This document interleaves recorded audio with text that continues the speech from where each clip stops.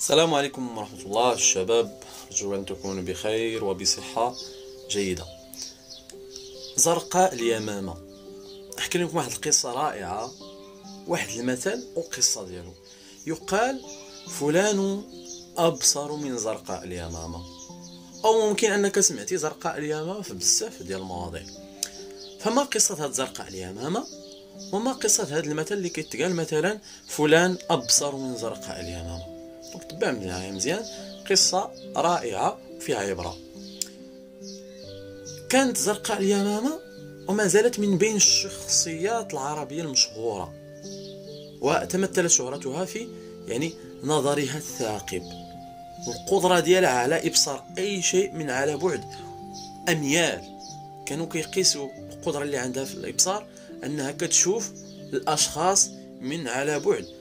ثلاثة ديال الأيام ديال السير اللي هي واحد الخاصية اللي ماشي طبيعية أنها تكون عند انسان فلذلك أصبح يضرب بها المثل في قوة البصر فيقال فلان أبصر من زرقاء اليمامة. أي للإشارة يعني إلى قوة وحدة بصر الشخص المشار إليه. فأهل القرية القرية ديالها والبلدة ديالها سميتها جديس كانوا يعلمون بشأنها منذ الصغر والأطفال كانوا كيلعبوا معها وكيمشيو للدار كيقولوا لوالديهم ودي راه زرقاء اليمامه راه ما عندها شي خاصيات اللي ما عندناش. راه كنتخبوا ليها على بعد واحد المسافة معينة وكتشوفنا. راه كتشوف شي أمور اللي بعاد حنا ما كنقدروش نشوفوهم.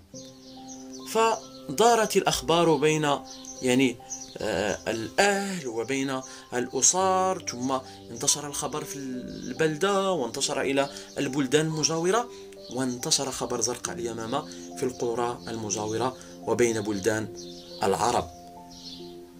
ففاش كبرات زرقاء اليمامة والأولى أنه يستفد من زرقاء اليمامة والقرية ديالها والبلدة ديالها اللي هي جديس فكانوا يستثمرونها أو يستغلونها عفوا وداروا ليها واحد البلاصة في واحد القمة ديال الجبل كانت كتحذرهم من أي عدو محتمل. في كل يوم عندها واحد الساعة كتنوض يعني القمة ديال الجبل كتشوف قدامها واللور اليمين اليسار باش تشوف ياك ما هاجم عليهم شي آه شي جيش. وأكيد في كل مرة كينتصروا يعني كينتصر الجيش ديال البلدة ديالهم اللي هي جديس في أي حرب في أي غزوة كتقام على الأراضي ديالهم والسر هو زرقاء اليمامة لأنهم كتحذرهم قبل وصول الجيش وهما كيباغتوه في الطريق وكيقضيو عليه.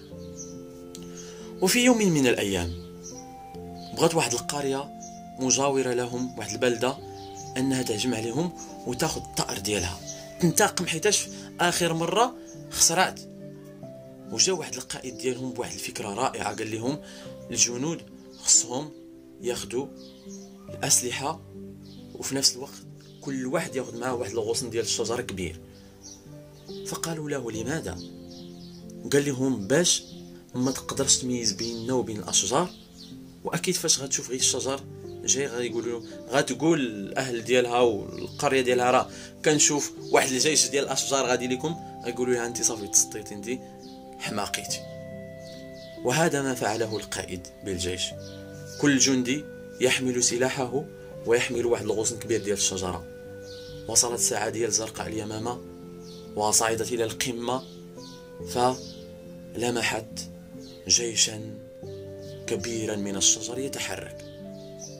فقالت لي القوم يا قوم إني أرى الشجرة قد أقبل إليكم. قالوا واش عاودي عاودي اش كتقولي؟ يا قوم إني أرى الشجرة قد أقبل إليكم. فقالوا لها صافي السلام عليكم. لقد خرفت ورق عقلك. صافي وذهب بصرك. صافي جنينتي ما بقى ما يتقال. ملي قلنا لك عاودي عاودتي نفس الحاجة. كتقولي لنا راه الجيش ديال الشجرة غادي لعندنا صافي السلام عليكم. ما بقى ما يتقال. انت ما بقيتي يعني آه، أهلا للثقة. وصافي وليتي مجنونة حماقيتي. فاستهزأوا بها فكذبوها. فاستغرب القوم من قدوم جيش من الشجر. ولكنها مسكينة ما فقدتش الامل بقات كتقول لهم نفس الهضرة. وهبطات ولات كتقول شي أبيات شعرية. آه، لعلهم يعني يفهموا شنو وقع. ولات كتقوم ديك الليلة كاملة وهي كتقول أقسم بالله لقد دب الشجر. أو حمير حمير هي واحد قبيلة مجاورة لهم كانت معروفة بالصيد ديالها والقوة ديالها. أو حمير قد أخذت شيئا يجر. خذوا خذوا حذركم يا قوم ينفعكم. فليس ما قد أرى من أمر يحتقر. إني أرى شجرا من خلفها بشر لأمر اجتمع له الإنس والشجر. بدات كتقولها وهما كيستهزئوا بها. صافي انت. السلام عليكم. انت ساليتي فنام القوم. فباغتهم الجيش في الصباح. دخل عليهم الجيش وحاصروهم وقضوا على الأقوياء ديالهم الكبار ديالهم القادة ديالهم قتلوا كل شيء. فأمر القائد الجيش أن لا يقتلوا زرقاء اليمامه قالوا ما تقتلوهاش خليوها. سننتقم منها شر انتقام. فاش استولوا على كل شيء وقتلوا كل شيء وبقات لهم الغنائم وبداو تجمعوا كاملين الجيش باش يحتفل على هذا الانتصار هذا اللي كانوا كينتظروه سنين. كل مرة كيفشلوا لأنه زرقاء اليمامة تكتشفهم من على بعد. فأتوا بزرقاء اليمامة لكي ينتقموا منها فانتقم منها القائد بنفسه علقها فاقتلع عينيها من وجهها حيد لها العينين أمام الملأ وهم فرحانين. لأنهم حقوا واحد الإنسان اللي هو كبير. فلاحظ القائد أثناء اقتلال عينا خروج واحد المادة سوداء من عينيها. فاحتار من هول ما يرى. وخلى زرقاء اليمامة ما قتلهاش ولكن اقتلع عينيها. خلاها حتى تهدنات وبرات قال لها ما سر تلك المادة السوداء؟ فقالت له كنت كنكتحل بواحد الحجر سميتو الإثميد منذ الصغر. واعتقدوا أن السر وراء الشدة ديال البصر ديالها والقدرة اللي عندها السر ديالها هو داك الإثميد ولكن بطبيعة الحال لا وإنما تعطات هذيك القدرة على الإبصار وتعطات هذيك الصفة اللي ما كانتش عند الأقران ديالها وما كانتش عند حتى شي واحد في الزمن ديالها وحتى حاليا. وانتهت القصة وبقي المثل يقال اللي هو فلان أبصر من زرقاء اليمامة أي أنه يمتلك بصرا قويا وحادا وعنده الحدة في آه النظر ديالو. لذلك إلا شفتي شي واحد كيشوف مزيان ولا كنتو كتشوف لا هو هذاك ماشي هو. آه الله الا هو فاش كيجي؟